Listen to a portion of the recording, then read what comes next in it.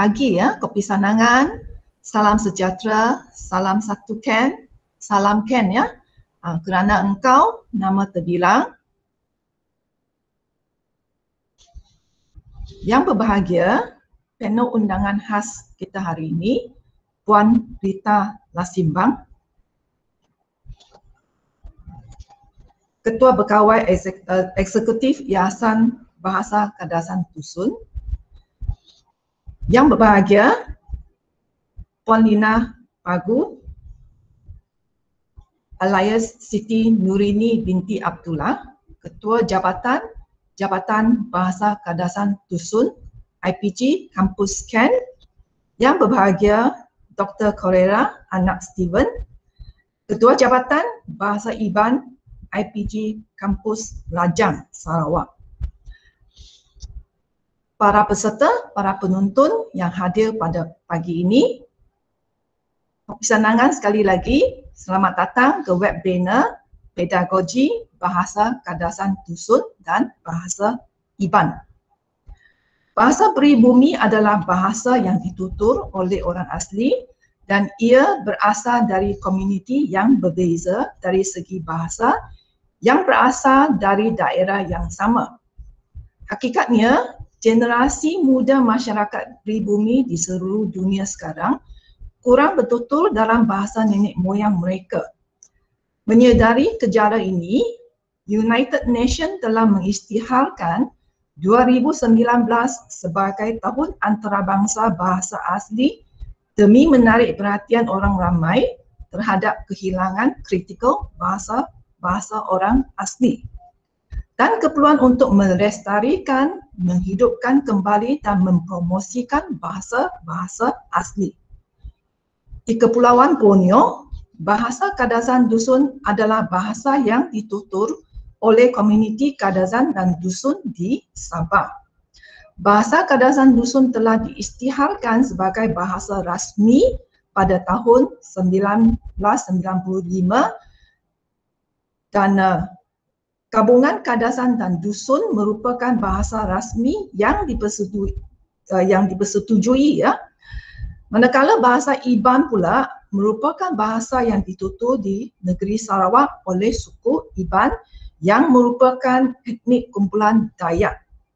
Jadi untuk memahami ya bahasa-bahasa ini dengan lebih mendalam, hari ini kita sangat bersyukur bersama kita kita ada Puan Lita Lasimbang Puan Lina Pagu dan juga Dr. Corella ya yang akan berkongsi dengan kita usaha-usaha ya um, bahasa etnik ini ya uh, yang diusahakan oleh IPGM dan secara khusus IPG Ken ya, dan juga IPG Rajang ya.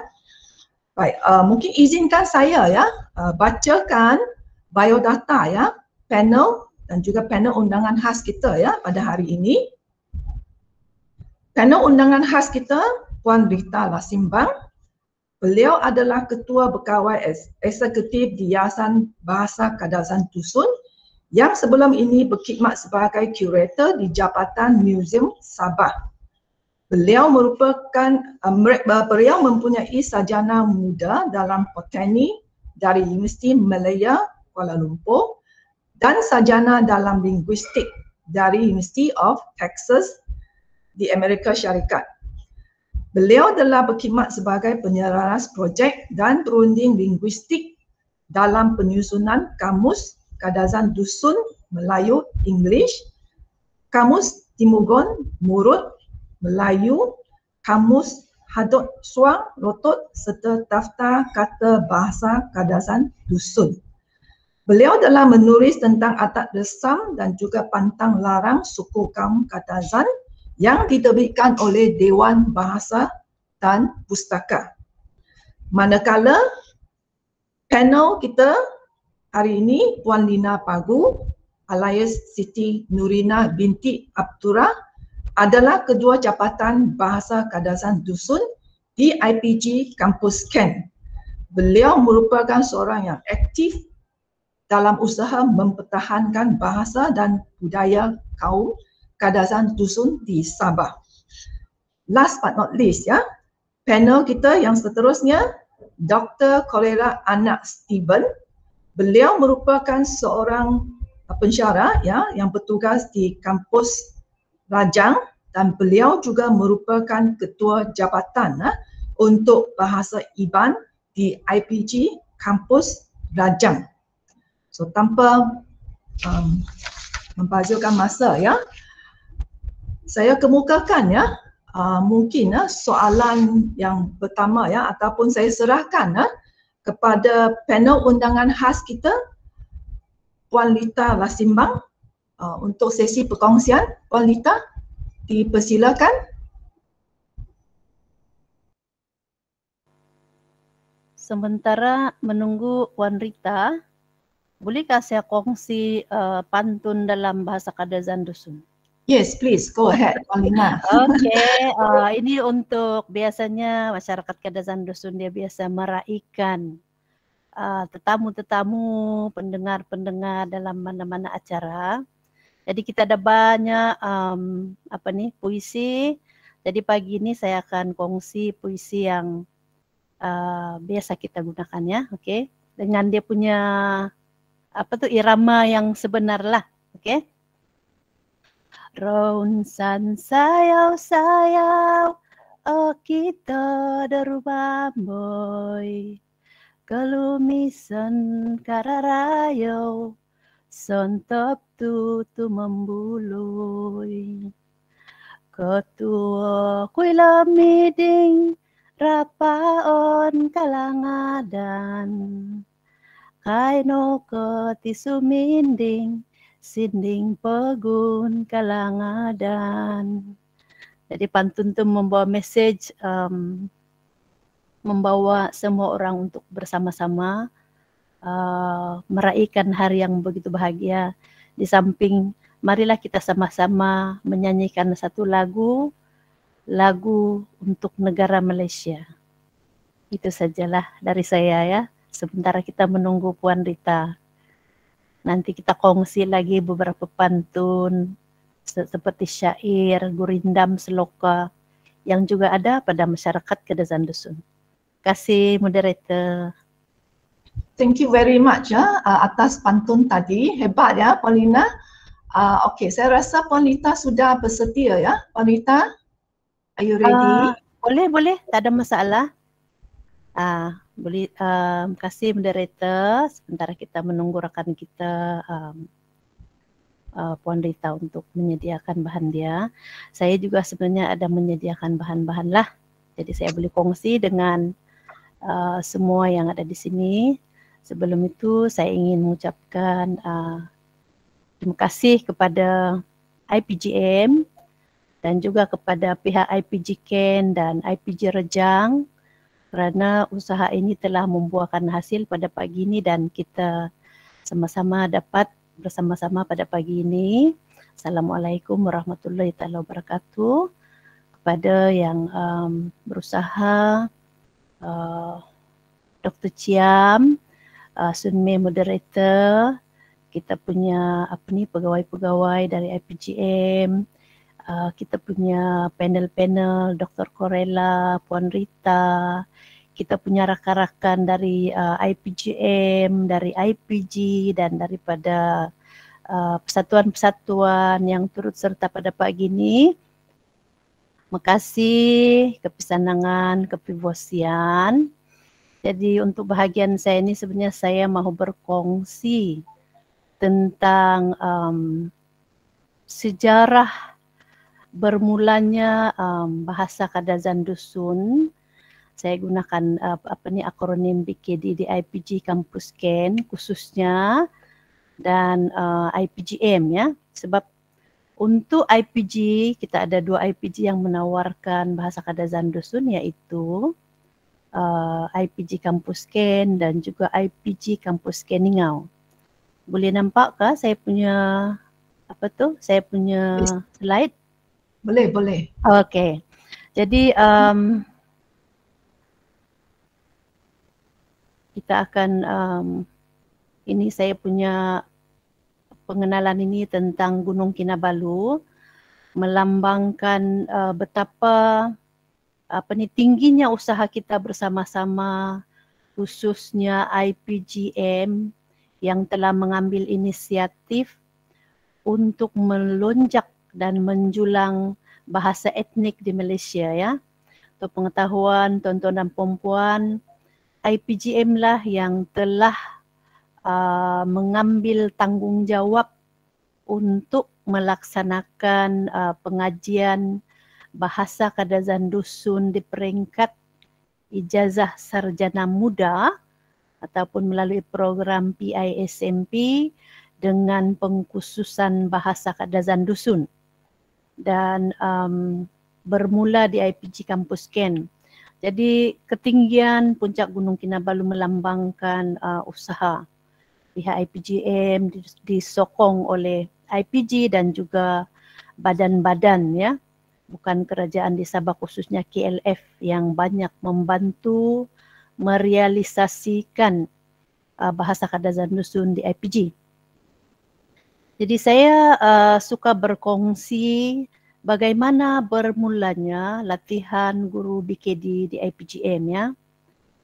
Uh, ini adalah melalui satu kertas cadangan pelaksanaan kurikulum BKD PPI SMP yang dikemukakan dalam mesyuarat Jawatan Kuasa Pembangunan Akademik IPGM di IPG Kementerian Pelajaran Malaysia Cyberjaya pada 10 Mei 2011 diluluskan ya. Dan kertas cadangan tersebut dikemukakan dengan tujuan untuk memohon pertimbangan dan kelulusan berhubung dengan cadangan memasukkan kurikulum BKD dalam PPI SMP mulai ambilan Jun 2011. Jadi dengan puncak kuasa inilah um, program uh, BKD sebagai salah satu bahasa etnik uh, telah bermula dalam kurikulum kebangsaan di Malaysia.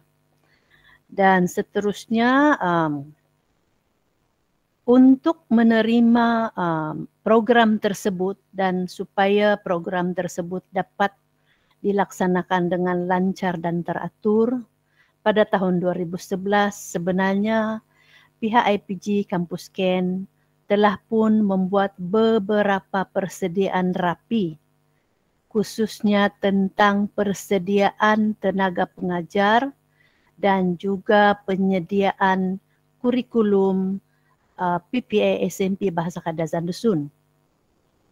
Jadi uh, mantan pengarah iaitu pengarah pada ketika itu Datuk Mary Teresa Kinajil. Kita juga harus berterima kasih kepada beliau kerana inisiatif ya dalam memulakan uh, apa ni uh, BKD di IPG uh, dengan uh, menyediakan satu sesi latihan kepada uh, pensyarah-pensyarah pada ketika itu yang kebanyakannya uh, bukanlah dalam bidang bahasa kadazan dusun tetapi uh, harus memenuhi syarat penutur jati berpengalaman dalam mengajar bahasa kadazan dusun dan uh, mempunyai kelulusan bidang bahasa tidak kira bahasa Melayu ataupun bahasa Inggeris. Jadi ada lima siri latihan ataupun lima fasa telah dilaksanakan untuk membolehkan pensyarah-pensyarah bahasa kadazan dusun itu uh, memiliki Uh, kelayakan MQA ya untuk melaksanakan uh, pengajaran pembelajaran bahasa Kadazan Dusun. Dan kemudiannya pada 12 Mei 2011 uh, kelulusan performa PPI SMP BKD dalam mesyuarat Senat kali keempat di Kuching Sarawak. Seterusnya pada 9 September 2013 uh, IPGM juga telah menerima kelulusan performa PISMP BKD dalam mesyuarat Senat kali ke-23 di IPG Kampus Teknik Kuala Lumpur. Jadi dengan kedua-dua kelulusan ini uh, membolehkan program persediaan setahun dan juga uh, program ijazah empat tahun itu dapat dilaksanakan di IPG dan kemudiannya pada 4 November 2014 uh, IPG Kampus Ken telah melancarkan uh, PISMP Bahasa Kadazan Dusun di Hotel Sabah Oriental yang dirasmikan oleh Presiden KDCA Tan Sri Datuk Joseph Pairin Kitingan dan dihadiri oleh Timbalan Rektor pada ketika itu Dr. Nuriati. Uh, dan akhirnya uh, program PISMP ini telah menerima akreditasi penuh panel MQA pada 17 dan 18 Ogos 2017. Jadi secara keseluruhannya uh, pelaksanaan uh, ijazah sarjana muda bahasa Kadazan Dusun di IPG, di IPGM telah menerima akreditasi penuh dan uh, membolehkan pelajar-pelajar kita tidak merasa bimbang atau ragu-ragu apabila ditempatkan di sekolah-sekolah rendah di Sabah. Jadi um, itulah yang saya boleh ceritakan untuk sejarah uh, BKD di IPG uh, Dr. Chiam, adakah saya perlu meneruskan terus kepada pencapaian dan juga cabaran-cabaran atau kita bagi laluan kepada orang lain? mungkin uh, kita teruskan dengan Puan okay. Lina lah ya. Okey, baik Puan ya. Lina sudah masuk, but then yeah. uh, we, we finish this one dulu lah kan. Okey. Jadi, terima kasih. Jadi, um, uh, pelaksanaan uh, Bahasa Kadazan Dusun di IPG selama 10 tahun ya, hampir 10 tahun ya, 2011 bermula dengan uh, apa ni penggubalan kurikulum dan penyediaan tenaga pengajar sehinggalah pada tahun 2021 sebenarnya kita telah melihat uh, perkembangan yang begitu positif di mana jumlah pelajar BKD yang telah bergraduat di IPG Kampus Ken adalah seramai 78 daripada jumlah keseluruhan pelajar berdaftar sehingga tahun ini 178 orang.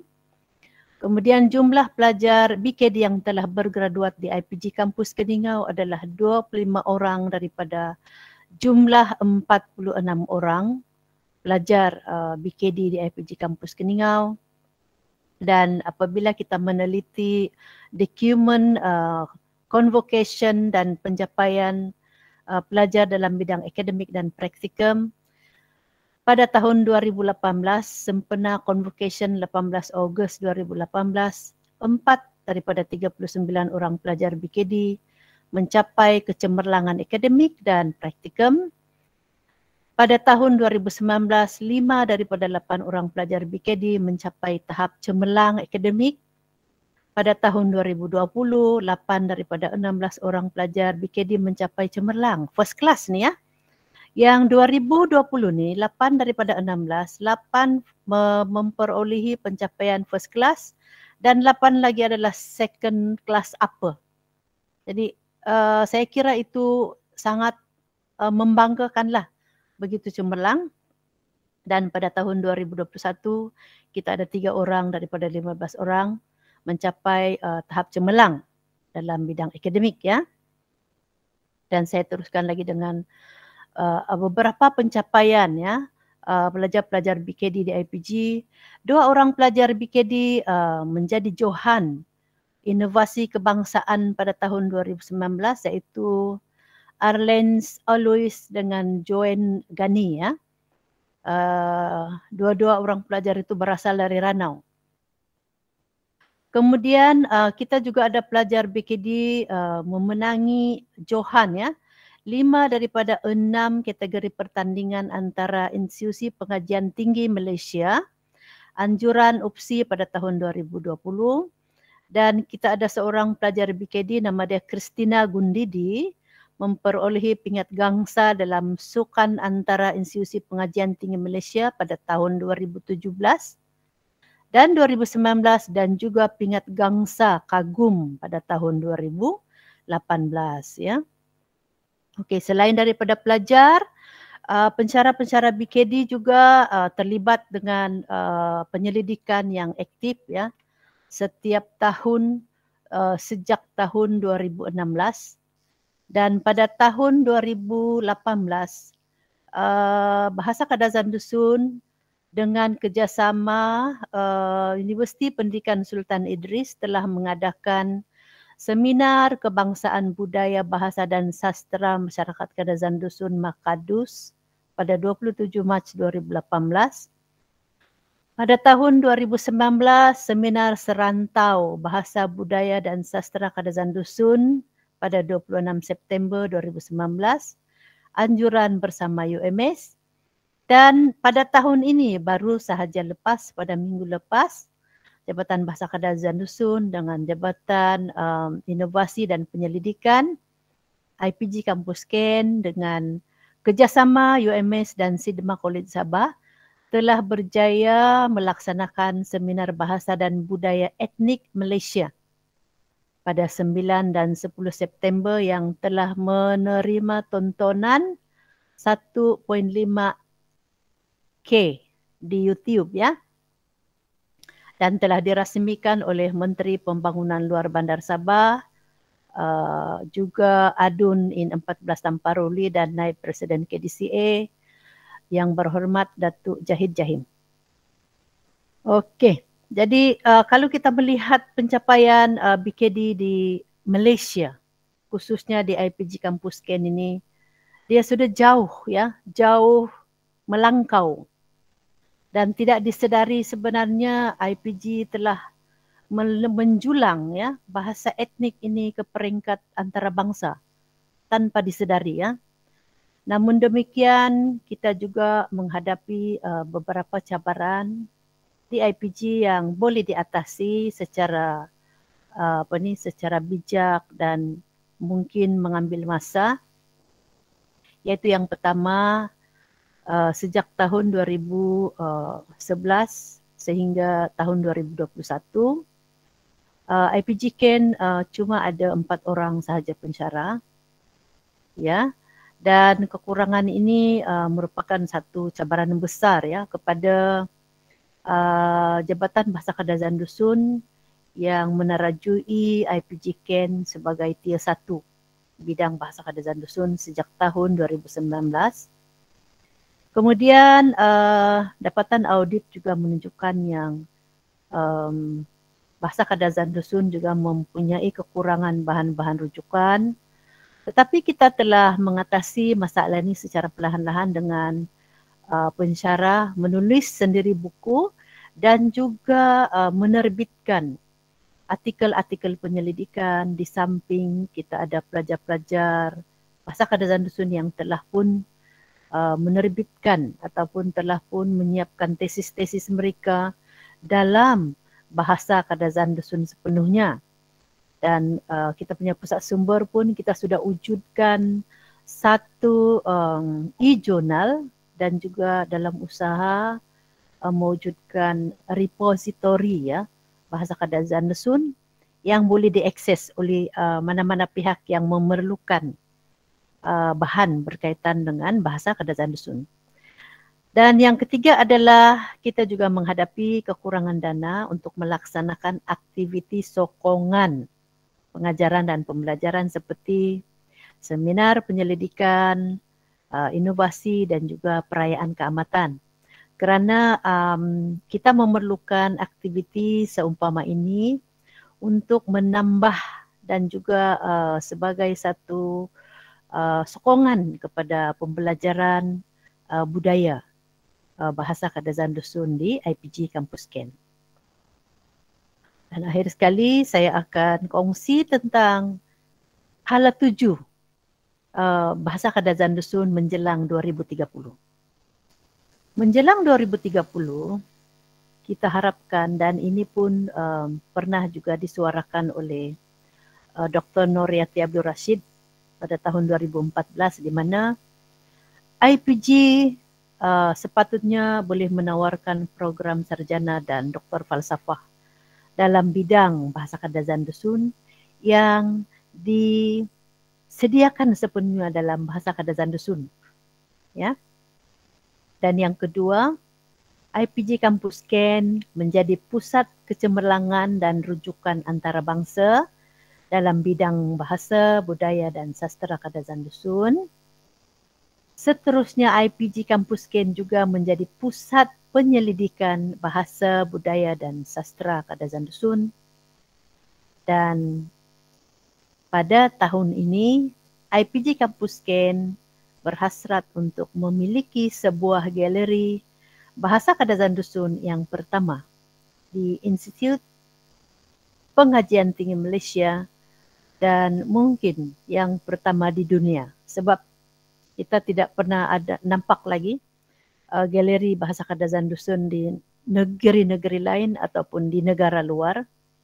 Jadi kita harapkan akan menjadi realiti di IPG Kampus Ken. Jadi itu sahaja perkongsian saya tentang um, bagaimana IPG menjulang bahasa Kadazan Dusun itu di uh, Malaysia sehingga cemerlang dan terbilang dan impian ini akan menjadi kenyataan dengan sokongan padu daripada IPGM secara berterusan. Itu saja. Sekian terima kasih Ponsiko Ketua Wadan. Ponsiko Puan Lina. Biaga. Tania. Tania ya. Uh, kita boleh lihatlah ya. Uh, ya. Usaha ya. Uh, jabatan bahasa Kadasan Tusun ya, dalam usaha menghasilkan bilangan pelajar ya yang cemerlang ya bukan sahaja dari segi akademik ya tetapi dalam bidang yang lain ya. Saya rasa mungkin Puan Lina tidak belum sempat ya masukkan um, pelajar-pelajar kita ya yang mengambil bahagian dalam uh, muzik ya terutamanya muzik ya. Oh, ya. Lagi, ya. Ah, yes. Um, Banyak. Uh, pelajar-pelajar BKD ini dia born as a gifted sudah dia lahir dengan uh, muzik yes. dan juga uh, kemahiran seperti tarian dan sebagainya. Jadi pelajar-pelajar kita ini biasa diundang untuk persembahan bukan saja uh, muzik tradisi tapi juga untuk persembahan-persembahan uh, tarian dan sebagainya, puisi dan sebagainya, ya. Sebab itu ya. dalam uh, setiap aktiviti kita uh, kita boleh uh, memperlihatkan persembahan yang uh, agak profesional lah untuk uh, acara-acara tersebut. Ya, Dr. Chiap. Yes. Itu saja. Yeah. Bukan saja muzik lah, actually sukan pun lah. Uh, dia, dia gifted lah ya. Yeah. Yes, gifted. Ya, dia, dia pagi-pagi ya. dia sudah turun ke Padang. Uh, lepas tu nanti dia akan balik, dia boleh terus uh, bermain muzik dan dia juga boleh terus uh, uh, membuat persembahan. So mereka ini sudah ditakdirkan dilahirkan serba boleh kerana hmm. sudah biasa melakukan apa ni pelbagai aktiviti dalam kehidupan seharian. Okay. Yes. Ya. Yeah. So terima kasih lah. Ya. Uh, walau bagaimanapun uh, dengan berbagai bakat uh, masih perlu diasah ya. So inilah yeah. ya yang kita nampak ya bagaimana ya IBG Campus Scan uh, uh, mengambil peranan uh, ya untuk mengasah ya uh, bakat-bakat uh, ini ya bukan saja daripada segi akademik ya tetapi daripada segi muzik ya dan juga bidang yang lain ya. Dan kita juga nampak ya ada pelbagai cabaran ya walau bagaimanapun ya cabaran ini cuba diminimumkan ya dan banyak inisiatif ya untuk mengurangkan cabaran ini ya. So maybe kita akan uh, beralih ya kepada uh, mungkin dari segi NGO ya bagaimana NGO me- menyumbangkan uh, usaha mereka ya dalam mempertahankan ya, bahasa etnik ya. Mungkin saya mempersilakan Puan Rita. Puan Rita sudah masuk ya. Can I invite you Puan Rita? Terima kasih Dr. Chiam. Okay, with this uh, technical this morning, I didn't already started. Okay, first of all, yeah, thank you so much for uh, jemputan ke jadi satu panel dalam webinar kita pada pagi ini dan uh, I will uh, share uh, screen lah kan window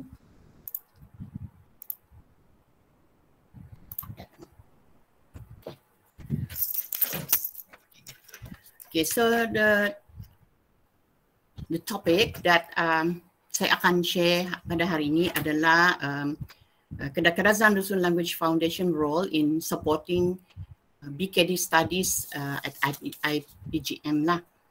Jadi um, saya akan uh, introduce dulu uh, KLF.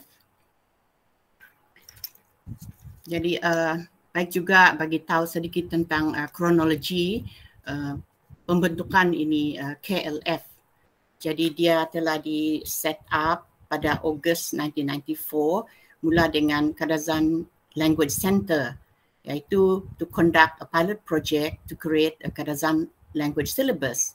Jadi uh, we had our first uh, ever workshop called Getting to Know the Kadazan Language. Then uh, in October 1994, uh, Kadazan language started at KLC.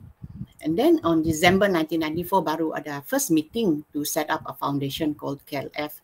And we uh, applied for a declaration for a trust. And then the next year, uh, in June, uh, we are granted a certificate of incorporation uh, under the name the registered trustees of the Kadazan Dusun Language Foundation of Sabah and the Federal Territory of Labuan dan uh, mula beroperasi pada Januari 1996. Jadi um, yeah, the mission is um, of uh, KLF is to preserve, develop, promote the Kadazan Dusun language dan uh, later integrated other indigenous languages of Sabah and the Federal Territory of Labuan.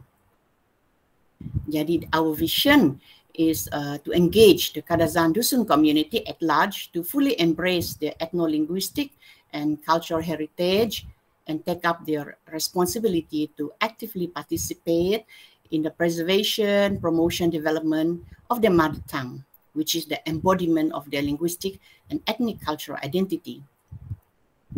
So, um, sebelum I uh, focus um, specific to IPGM um, to complement the presentation by Puan Lina tadi, okay, I recap a little bit lah since um, KLF uh, will be sharing based on uh, the early years lah. So in yeah, semua tahu lah in 1997 the Kadazan Dusun language was first taught in schools in Sabah. So uh, beginning at the trial level in 15 selected primary schools. And these selected schools have a majority of Kadazan Dusun students in the student body as well as equipped with potential Kadazan Dusun language teachers. So uh, inilah yang uh, 15 uh, sekolah rendah yang terlibat di dalam uh, pilot teaching of the Kadazan Dusun language in 1997.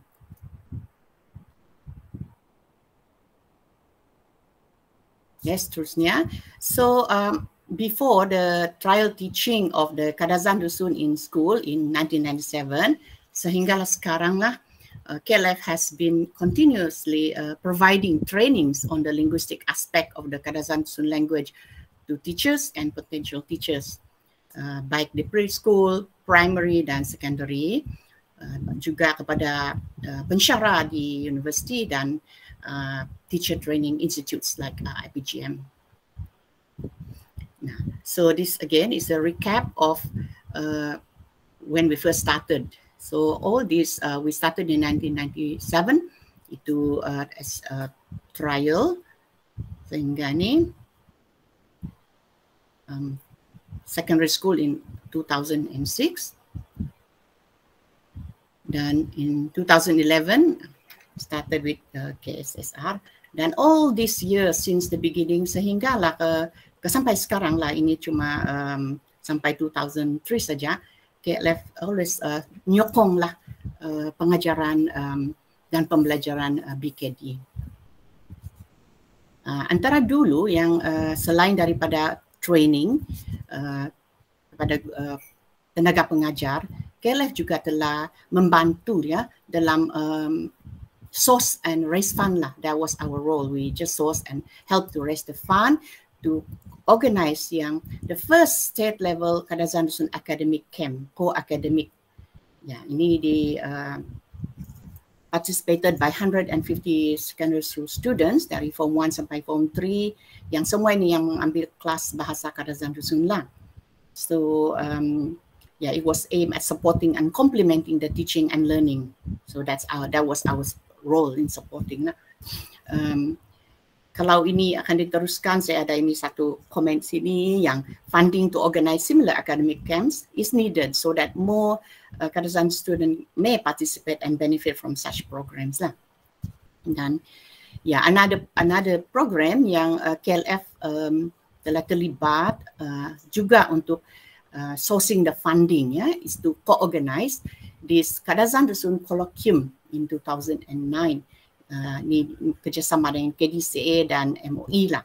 So dan ini juga kalau mau perlu juga uh, another colloquium uh, to be organised in mesti juga ada funding lah. Kita ada uh, I think uh, resource uh, people but we need a funding. These are all sejarah lah. And then uh, I think one of the uh, apa support yang kita bagi iaitu bila uh, SPM sudah bermula uh, BKD di SPM itu adalah mengorganize ini bengkel teknik menjawab soalan kertas SPM bahasa Kadazan pada tahun 2011.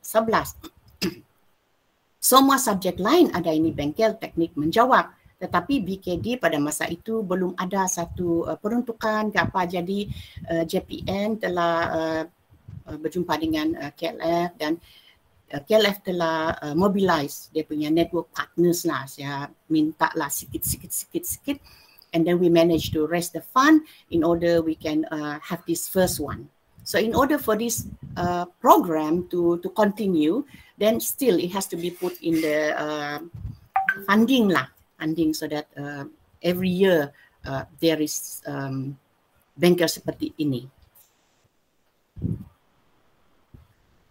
So besides uh, all that preparing the, the the I would say the feed the students into IPGM, KLF juga ada bantulah in fact mem, uh, membuat itu syllabus untuk uh, kadazan kelas di UMS. Lagi uh, masa itu di UPSI dia bermula kita telah uh, assist in the launching. So kita pergi ke UPSI untuk assist in the launching. Okay, so itulah background. And then sekarang kita ke IPGM lah yang uh, spesifik ke topik saya hari ini. Ya, yeah. seperti dengan uh, uh, tenaga pengajar uh, sekolah londa, sekolah uh, uh, menengah. Okay, KLF juga telah memberi um, latihan linguistik atau technical aspect of the Kadazan Dusun language kepada para pencara IPGM Samba. Jadi pada masa itu uh, untuk persediaan persiapan PPISMP ya kita telah uh, mengadakan empat fasa uh, latihan. Uh, tapi KLF on the aspect of uh, linguistik lah. So pasal satu hingga empat ini uh, in staggered. Nah ini saya punya ini participant semua masa itu Puan Lina sana, James, uh, uh, ya yeah, yang uh, attend the course. Huh? And then behind the scene, I would say behind the scene, um, I've assisted in steering the technical content of the uh, pro forma khusus PPISMP BKD uh, banyak ini tapi uh, saya punya pejabat pergi uh, tengok cungkil balik apa saja itu dokumen just to because this uh, present this presentation is more to to look at the what was before and maybe it's good for our present uh, group of people involved in this to see what what was behind lah what was be, uh, behind the the scene also So mostly uh, just technical, so I gave input into the technical content. Okay, we also invited, uh, welcome uh, IPGK students, Ken, also from Keningau to visit our uh, resource center. Sebab uh, di sanalah yang sebab kita baru bermula belum ada ini. Tapi we we have uh, some reference di resource center di KLF jadi mereka datang ke pejabat dan uh, antara yang saya dapat uh, peluang lah untuk uh, uh, ke IPG Ken di Old Campus di Tuaran ya mengendalikan satu training untuk uh, first batch. This is with the first batch. I uh, train them in what we call a rapid word collection. They they have a bisemantic domain. Mereka ada project corpus data collection project. Jadi uh, dijemputlah untuk bagi training kepada mereka. Hmm, ini dia dia very fast this is a very fast they only need to collect uh, 200 say for the project tetapi easily they can collect a uh, thousand in just that one sitting in that time that I went Okay, so uh, most recently, this one, as you can see, everybody is uh, using face mask. So this one also have been mentioned by Puan Lina tadi. Yeah, um, KLFBT conduct ini uh, training language skill. Kita guna uh, ini Kadazan Dusun Malay English Dictionary. Ini adalah uh, main reference for our students studying uh, BKD in uh, IPG. So uh, they needed training in how to to actually use that that book. It's everything is there, but uh, sometimes uh, it's it's new to people this uh, technical aspect. So it was a very interesting workshop. So everybody participated, lecturers as well as staff also joined in. Okay, this is our very happy happy group. Um, semester six now. This one I think um, uh, doing the presentation. It was very very um, very amazing lah. I was very pleased with with the outcome of that workshop. Okay, next, um, yeah, the other um, satu lagi lah yang KLF telah uh, membantu menyumbangkan kepada uh, BKD Studies adalah penganjuran Kadazan Dusun Novel Writing Competition. Okay, ini sudah uh, empat sudah yang telah dianjurkan.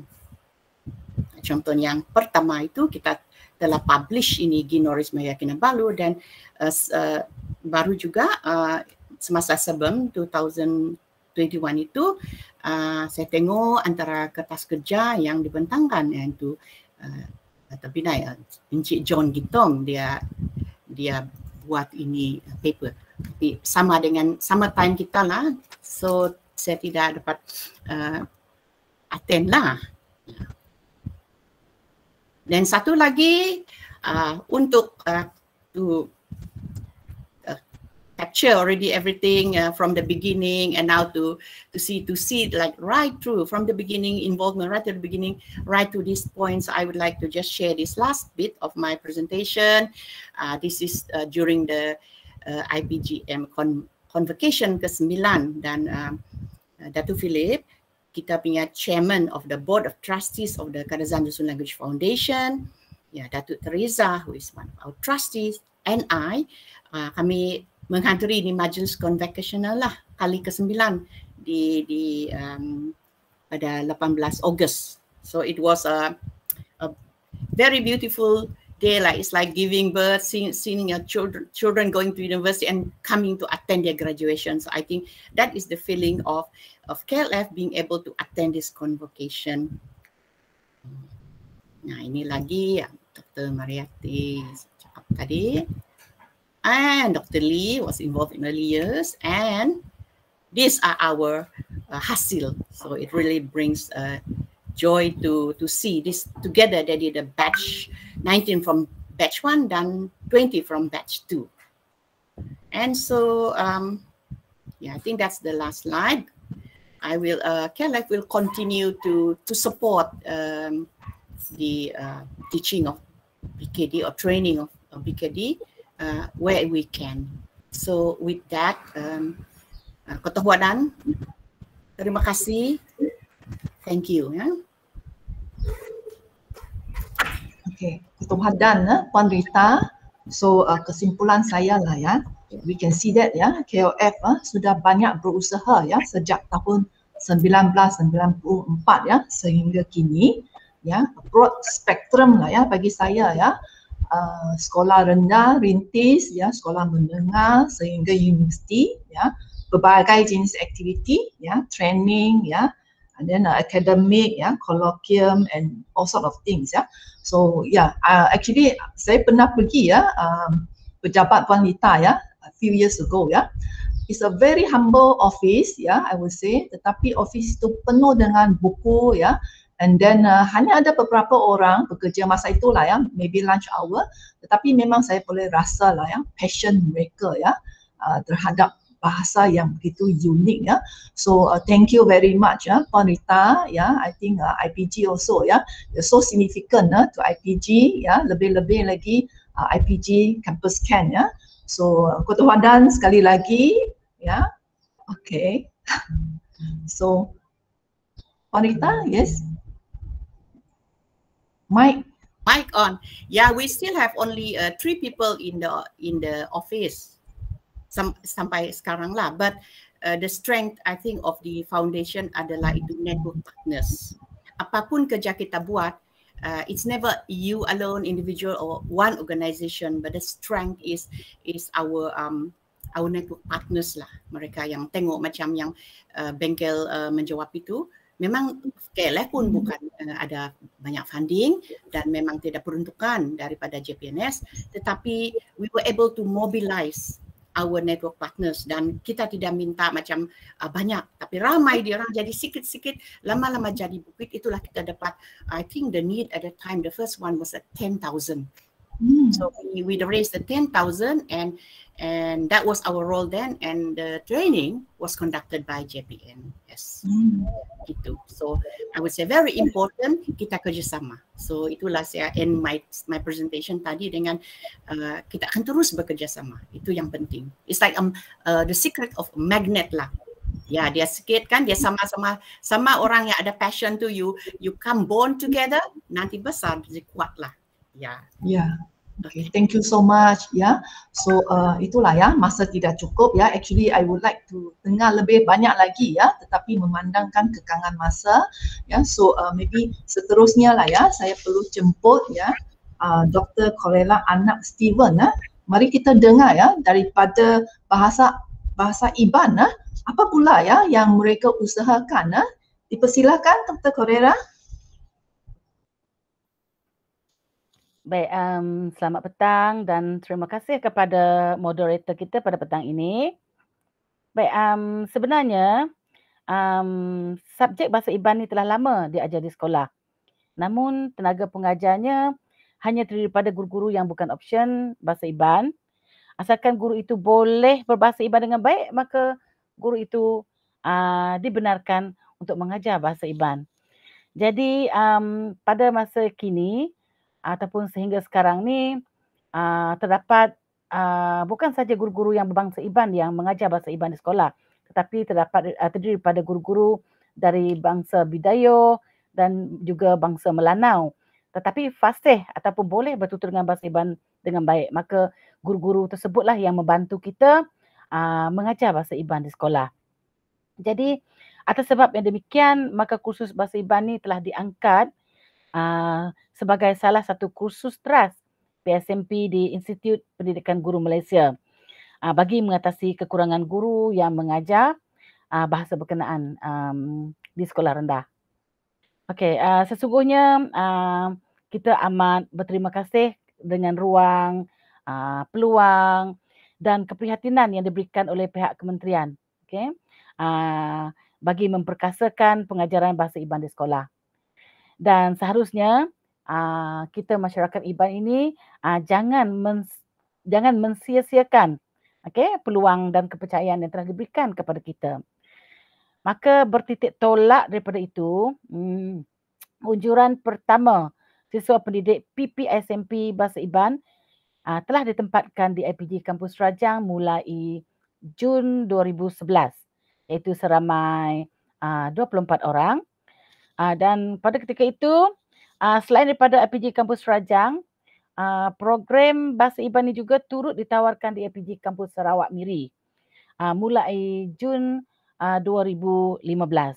Jadi uh, setakat ini, kita telah dan sedang melatih seramai uh, 356 siswa pendidik. Okay. Daripada jumlah tersebut, uh, seramai 195 orang telah bergraduat dan telah pun uh, mengajar dan ditempatkan di sekolah okay, di Sarawak. Dan untuk makluman semua, uh, setakat ini untuk program Bahasa Iban kita ada program Ijazah Sejana Muda Perguruan ataupun dengan singkatannya PISMP dan juga program Diploma Pasca Siswazah Pendidikan ataupun singkatannya uh, PDPP. Okey, untuk PDPP um, kita ada 38 orang pelajar okay, yang sedang mengikuti pengajian untuk bahasa Iban um, sekolah rendah. Jadi uh, daripada 38 orang pelajar itu seramai 21 orang uh, sedang mengikuti pengajian di IPG Kampus Rajang manakala uh, 17 orang lagi um, di IPG kampus Sarawak Miri. Okay. Um, seperti yang saya nyatakan di awal tadi, setakat ini kita telah menghasilkan seramai 195 orang guru option bahasa Iban untuk sekolah rendah. Okey, sekarang ini yang masih dalam pengajian adalah seramai 161 orang. Jadi uh, meskipun jumlah yang um, sedia ada ni belum mencukupi untuk menampung kekurangan guru bahasa Iban uh, di sekolah. Namun sekurang-kurangnya kita ada guru yang um, option bahasa Iban di sekolah uh, bagi membantu guru-guru lain yang bukan option bahasa Iban uh, yang mengajar bahasa Iban di sekolah dan kita juga berharap agar um, jumlah ini uh, jumlah unjuran sama ada untuk PISMP bahasa Iban ataupun PDPP bahasa Iban malah PITO uh, boleh ditawarkan juga uh, untuk program bahasa Iban dan uh, akan bertambah uh, bilangan uh, pelajar tahun demi tahun uh, bagi mengatasi masalah uh, kekurangan guru bahasa Iban yang tidak berkesudahan uh, seperti yang kita alami sekarang ini. Walau bagaimanapun uh, kita bersyukurlah uh, kita diberi peluang, diberi kepercayaan uh, untuk melatih okay, tenaga pengajar untuk khusus bahasa Iban ini walaupun kita bermula dengan uh, bilangan uh, pelajar yang agak kecil tetapi uh, dengan wujudnya pelbagai program seperti sekarang ni kita ada PISMP, PDPP mana uh, mungkin uh, pada masa akan datang kita ada PITO dan sebagainya untuk bahasa Iban. Okey, jadi dengan keadaan yang sedemikian uh, bilangan uh, guru option bahasa Iban di sekolah tidak mustahil untuk kita tingkatkan dari semasa ke semasa. Okey, um, bila bercakap tentang cabaran utama yang kita hadapi, di APG bila melaksanakan uh, program bahasa Iban ini uh, sudah semestinya uh, kami uh, di IPG ataupun para pensyarah yang mengajar di IPG uh, kami kekurangan sumber rujukan okay? uh, terutamanya buku-buku ilmiah dalam bahasa Iban untuk rujukan yang berkaitan dengan kebudayaan sastra um, setakat ini uh, jumlah yang ada boleh menampung keperluan ataupun ilmu boleh di yang kita perlukan boleh didapati daripada buku-buku yang dihasilkan uh, untuk sastra dan kebudayaan. Okey sebab uh, bilangan untuk dua bidang ini agak banyak. Tetapi untuk bidang ilmiah ini uh, ini yang kita menghadapi uh, kekangan ataupun masalahnya. Jadi uh, untuk itu bagi mengatasi masalah ini uh, pihak pensyarah yang mengendalikan ataupun mengajar kursus-kursus ini di IPG uh, perlu membuat terjemahan.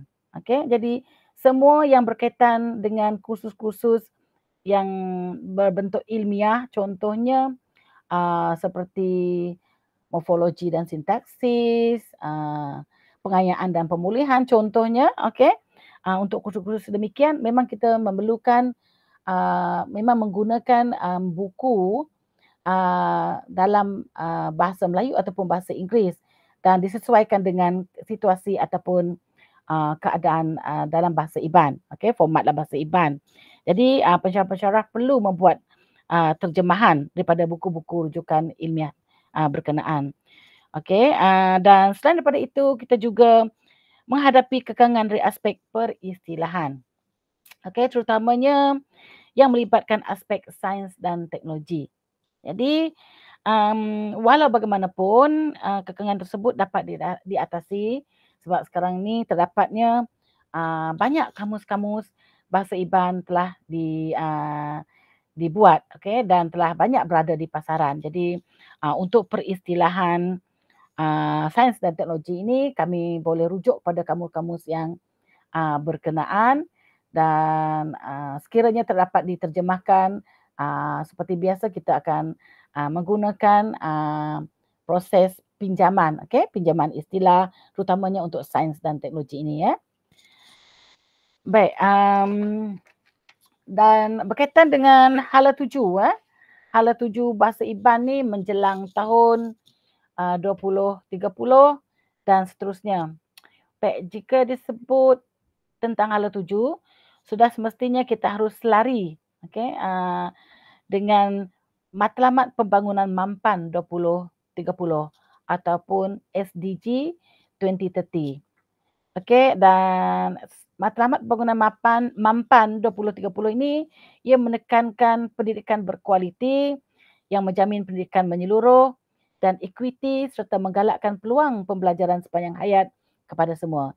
Jadi dalam uh, konsep bahasa Iban uh, diharapkan bahasa Iban ini terus diperkasakan uh, sistem pendidikannya uh, di Malaysia ini. Okey.